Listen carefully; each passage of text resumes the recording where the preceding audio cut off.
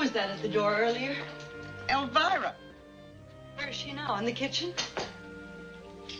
No, I gave her the day off. She has a pretty hard time considering. I told her to come back next week.